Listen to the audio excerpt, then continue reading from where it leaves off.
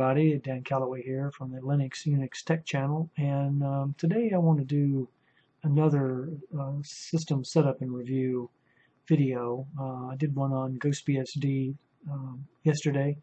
Today I want to do one on Linux. Uh, I've got my eye on a distro here. Went out on distrowatch.com and I got alerted about a distro that's just hit the scene, and it's called Voyager Live 10.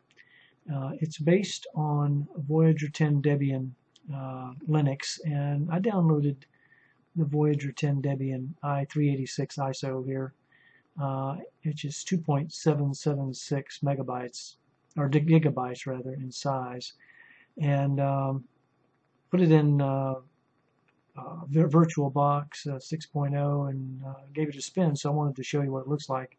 So let's go ahead and get started. Okay, well, I'm on my Windows 10 uh, Pro main PC here, and uh, I'm out on my VirtualBox uh, 6.0 platform. And I'm going to go ahead and set up my Voyager Debian 10 Linux distribution as a virtual machine. So I'm going to go up and click on Machine, New, and I'm going to call this Voyager uh, Debian 10 um,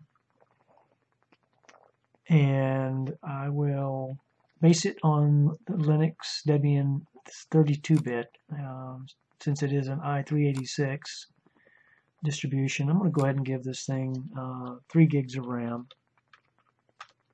Alright, and uh, again, I'm going to create a virtual hard disk drive. Uh, so let's do a create here. And I'm going to give it uh, 50 gigs of uh, space, VDI, and dynamically allocated. I'm going to go ahead and click create. It created it. And so now let's go ahead and click on the settings button and uh, let's look at the settings we have here. So under general we don't need to make any changes. Under system um, 3 gigs here. We want to untick the floppy, select hard disk and move it up. Um, we want to um, for the processor leave it at 1 CPU. Acceleration, uh, leave it to enable VTX and AMDV, default uh, paravirtualization, and also enable nested paging. Uh, for display, we want to give this thing uh, full 128 megabytes of memory. One monitor count, we want to use uh, a VBox VGA graphics controller and enable the 3D acceleration. Under storage, uh, we want to click the empty button here and go out to the virtual uh, optical disk file uh, and select that and then select uh, from my F drive where the ISOs folders contains all the ISOs. Let's select the Voyager 10 Debian i386 ISO. Click OK or open. And um, and then let's go down to uh, audio. Make sure the audio is ICH AC97. Let's enable the audio output. Uh, for network, let's use one adapter. Uh, let's make that a bridged adapter here. So we have the our virtual machine on the same LAN, uh, same IP addressing scheme as our main PC. Serial ports, we don't need to change anything. USB, let's tick the uh, 3.0 here. Shared folders and user interface, no change and let's click OK. Alright, so we're ready to launch this thing. So let's go ahead and hit the start button.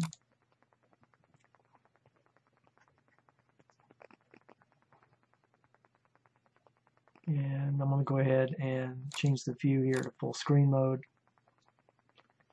Alright, I'm just going to go straight in to the installer here for the Debian installer. So let's go ahead and click that.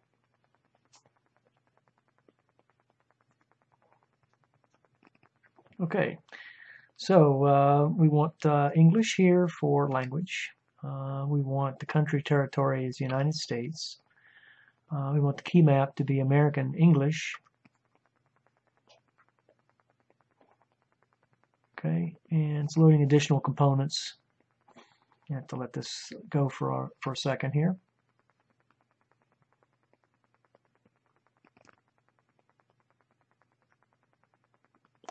Sometimes I like to just go straight to the installer instead of going to a live uh, CD or DVD of the distro. And let's see, it's uh, getting ready to, it's detecting the link, it's looking for IP address and uh, getting an IPv6 address as well. Let it go ahead and do its thing here. Configuring a network here for DHCP. All right, so we're going to enter a name for the host, and we're going to call it Voyager Debian 10. Um, and let's go ahead and select continue. All right, and the domain name, um, I'm going to call it, um, let's see, what can I call it here? Um, don't really think I need a domain name, but I'll call it example.com. Okay. All right, so root password, um, I'm going to go ahead and put that in. And uh, re-enter it. Full name of the new user, that's me.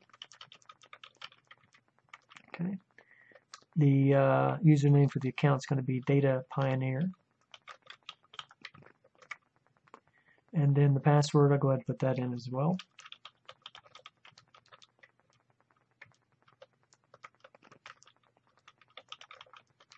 And repeat it. All right, so the time zone we're going to select here is Eastern.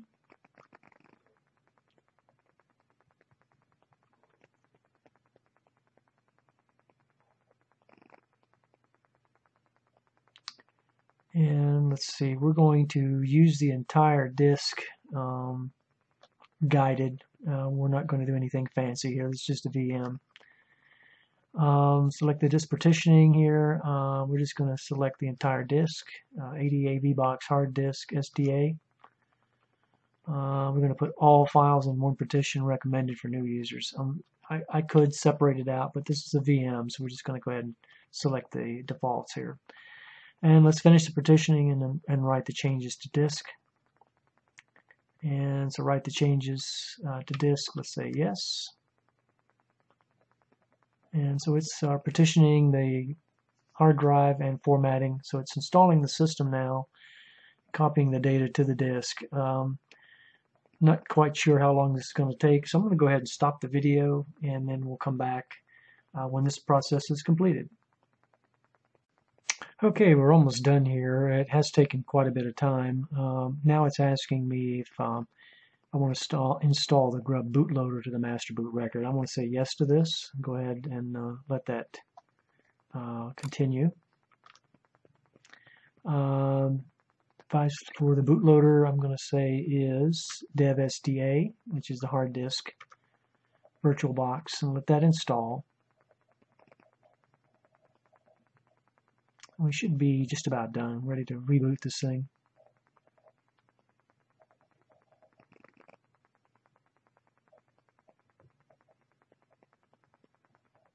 So setting up the users now and passwords. And it's going out and looking at a net install of uh, sources list from the CD.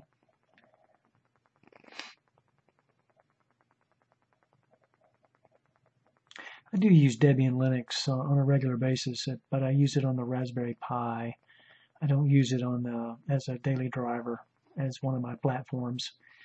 Um, but I do use it on the Pi, and it's a Debian stretch um, operating system called Raspbian OS. So I am very familiar with Debian.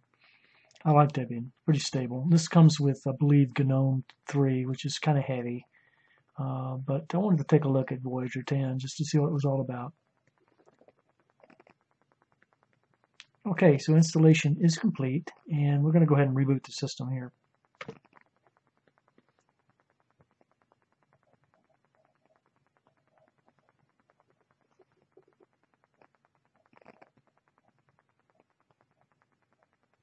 Okay, so it's going out and removing the live packages from the ISO now, so we don't have those uh, taking up space.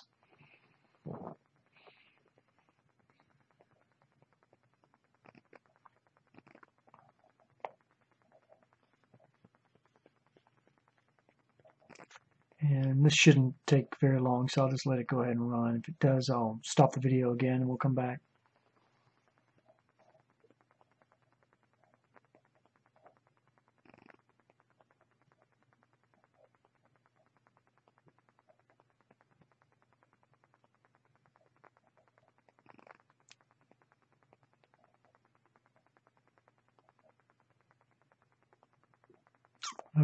It's um, still at 60%. Um, I'll give it a few more seconds to see if it's going to move along. Otherwise, I'll go ahead and stop the video.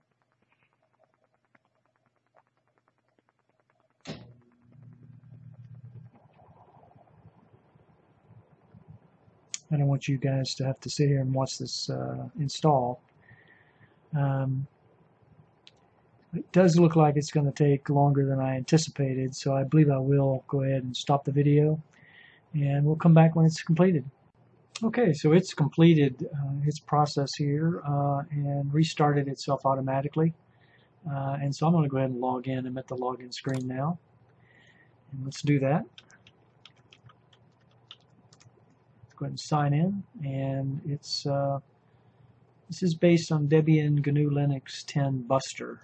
Uh, if you're familiar with Buster, I call Voyager 10. So it's uh, getting ready to log us in here, and then uh, we'll go from there. So we'll take a take a look at this uh, distro, see what's going on with it. All right, it is coming up to full screen, 10 uh, 1920 by 1080. I do have a 1920 by 1080 uh, widescreen monitor, and so here we are. This is um, Voyager Debian 10. Um, nice little background here. I like the background. I like what I see. And so let's uh, let's take a look at some of the features of Voyager Debian 10. Okay, so what I'm going to do here, uh, first thing, uh, right out of the box, I'm going to right click on the desktop and I'm going to go ahead and open a terminal here. Okay, so I've got a uh, terminal open and I'm at the desktop right now, so I'm going to put in a pwd to see where I'm at. I'm at Home Data Pioneer Desktop. And who am I? I am a Data Pioneer. Um, I'm standard user right now, so any commands I run here in the terminal are going to have to be uh, with sudo, uh, or I'm going to have to change into root in order to run those. Now, this is a Debian distribution, so it's using Aptitude Package Manager. Uh, so I'll use apt uh, as my uh, command line for anything I do here. First of all, though, let me go ahead and clear the screen. And let's run htop, take a look at what we have before we get started. Right now we're running uh, 546 megabytes out of 2.96 gigs of available memory. If you recall, I gave this thing 3 gigs of memory. So we're only using 546 megs out of that 3 gigs. Pretty good. CPU utilization is bouncing up and down a little bit, but it's uh, averaging around oh, 15, 17%. Um, not too bad. 92 tasks um, uh, run are uh, being used right now, are running 211 uh, threads and one running. Load averages are very good, uh, 0.74, 0.77, and 0.34. Remember, we're using uh, one CPU, one core, so anything below one is great. Um, uh, we are not using any of the swap here. Um, and so that's pretty good for this kind of distribution here. Um, and I wanted to pull up HTOP first thing, take a look at it before we get into it too much. We go ahead and do an F10, go ahead and uh, quit this. All right, let me close the terminal. All right, let's get back in the terminal again.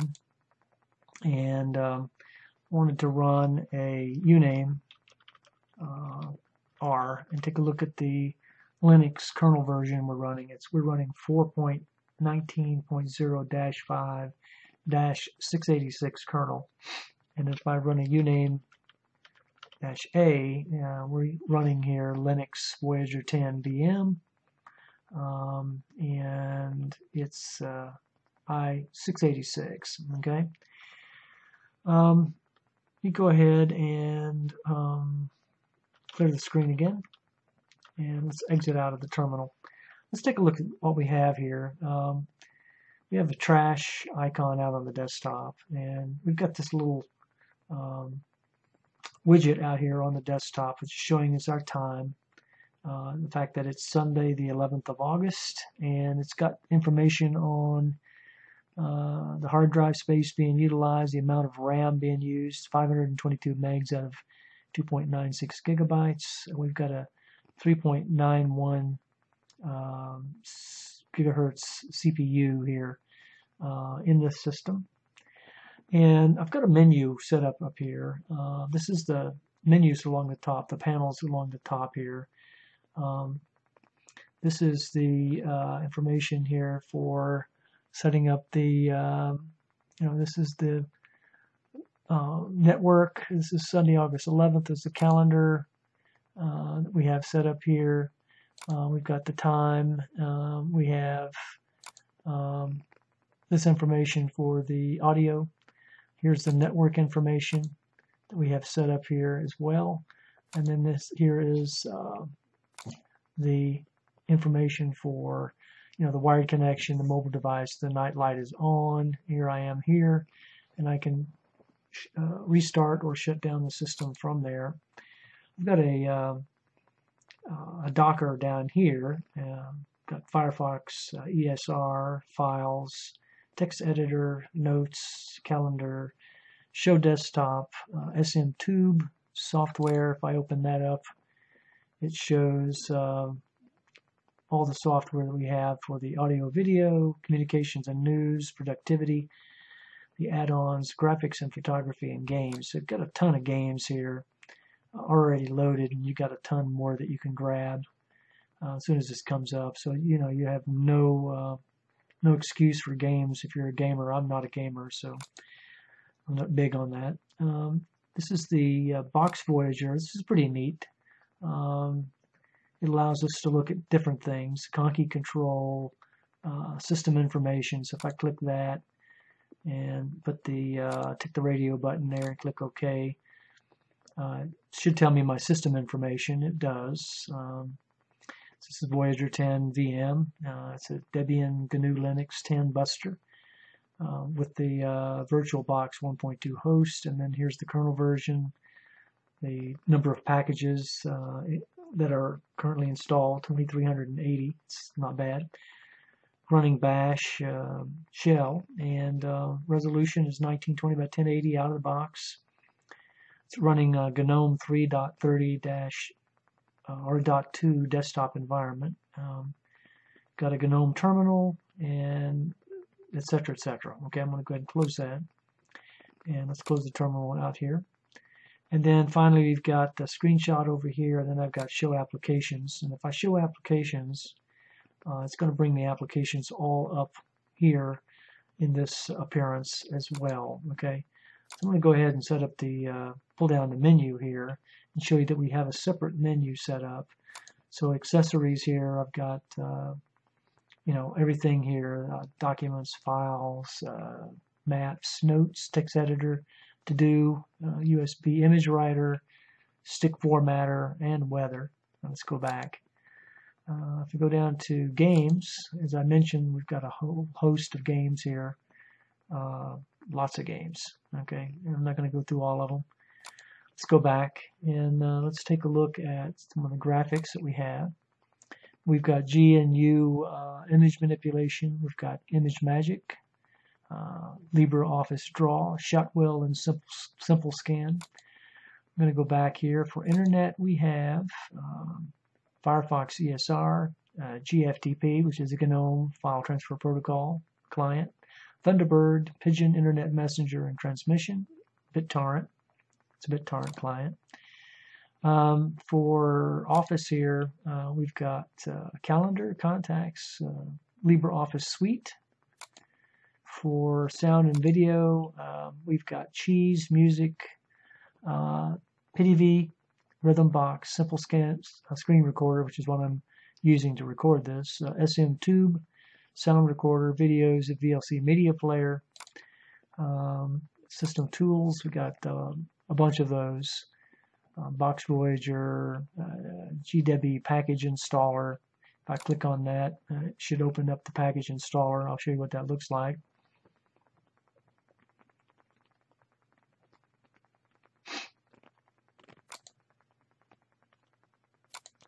I closed it. Okay, this is what the package installer looks like. And um, there's nothing loaded in here, so I'm just going ahead and close it. And uh, we'll install a package here in a moment. Um, see, we were at System Tools, I believe. Um, the Grub Customizer, here's HTOP, here's Settings, uh, here's Software, Software and Updates. Let's click on that. And so we can go in here for, um, you know, other software, for Debian software, um, officially supported main and source code. We've got other software here, uh, updates, security updates and recommended both are ticked. Uh, it's going to be automatically checking for these updates daily, but you can change that every two days, weekly, every two weeks, never. I'm just going to leave it at daily. This is not a rolling distribution, so this is important that you keep this on an automatic basis here. Um, when there are security updates, it says I've got it set for download and install automatically. You can change that to display immediately or download automatically if you want. Um, I'm going to leave it at download and install. Authentication, um, you've got trusted software providers, and then developer options, you've got those as well. Let me go ahead and close this. All right, let's see what else we have. Uh, for utilities, we've got a host of utilities. Archive Manager, Backup, Disk Usage Analyzer, Disks, Fonts, uh, Passwords and Keys, Remote Desktop Viewer, Screenshot, System Monitor, uh, the Terminal, and Tweaks. Okay, And then Other, Let's see what we have there. Show Desktop and Advanced Network Configuration. All right, so We've got the home, documents, downloads, music, pictures, videos, software, settings, tweaks, terminal, and activities overview here. Uh, you can type in, let's see if GIMP is installed. Uh, yeah, GIMP is installed, so let's go ahead and click GIMP, bring GIMP up. And uh, I love GIMP. Um, this is, should be version 2.10, and it is. And first time you launch it, it does take a little bit uh, of time to load, but on subsequent launches, it should fire right up. All right, so let's, uh, let's bring that up to full screen, and let's see if we have an image we can bring in to take a look at it. Uh, yeah, let's take a look at this.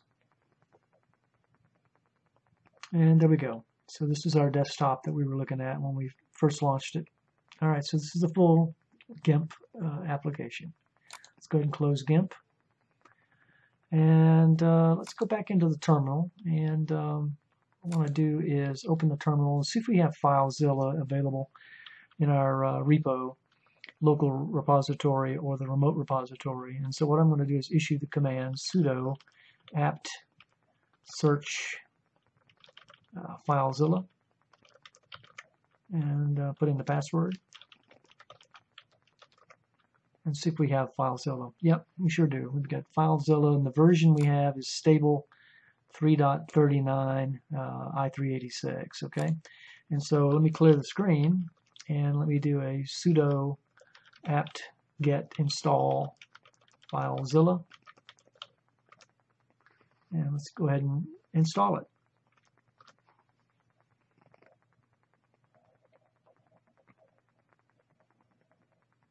And then once we get it installed, we'll open it up, take a look at it.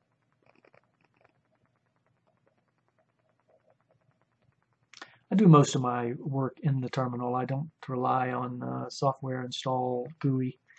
All right, so let's do um, an exit here, get out of the terminal. And then let's go back to that menu. And FileZilla should be under Internet, I believe. There it is. So let's do a right click on FileZilla and open it and let's go ahead and click OK and here it is. Let's open it up to full screen. And here, uh, it's located at 192.168.1.157 and I've got a username here of Dan Cal well wait a minute. What happened to the host here? Go back. I don't know what happened there. Hmm, interesting. May have to uh, shut it down and open it back up. I don't know what's happened here. Yeah, let's go ahead and do that. Uh, something happened to the application. Let's go back into Internet and FileZilla. Open that back up again. All right, and let's uh, let's put in that IP address again: 192.168.1.157.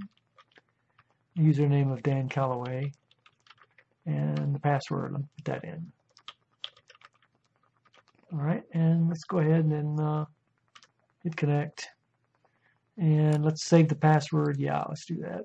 And um, server does not exist or not, does not support FTP over um, TLS, that's okay. Always allow insecure. This is a VM, doesn't matter. And there we go. I'm connected to my personal cloud. Let me double click on public. And uh, let's look at shared videos. And let's take a look at what we have here. We've got uh, a bunch of videos here. Python stuff. All right. Uh, SW reception, networking. I've got a bunch of networking files here, uh, videos, if you will. Uh, for instance, I've, got one on IIS-7 self-signed certificate MP4. All right, so this is uh, FileZilla accessing my personal cloud, which is a, a 5 terabyte personal cloud. Let me go ahead and close that. All right, so uh, this has been a quick review of uh, Voyager Debian 10, which is a brand new distro. Just showed up on my radar here at distrowatch.com. Thought I'd show it to you. Hope you enjoyed the video. Uh, if you like the video, hit that like button. And if you want to subscribe to my channel, go ahead and hit subscribe. And make sure you hit that little bell on the right-hand side so you'll get notified every time I upload a video. And so thank you very much for watching.